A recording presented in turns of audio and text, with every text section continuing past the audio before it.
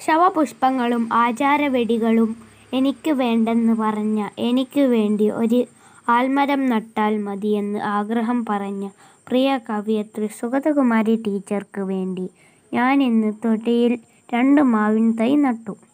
പ്രകൃതിയെയും ജീവജാലങ്ങളെയും ആഴത്തിൽ സ്നേഹിച്ച ടീച്ചറെ നമുക്ക് ഒരു തൈ നട്ട് പുനർജന്മം കൊടുക്കാം. എല്ലാ ചലഞ്ചുകളും ഏറ്റെടുക്കുന്ന നമുക്ക് ഒന്നല്ല ഒരായിരം തൈ നടാം. മഴക്കായി കാറ്റിനായി കിളികൾക്കായി തേൻപഴങ്ങൾക്കായി അതിലേറെ നല്ലൊരു നാളേക്കായി.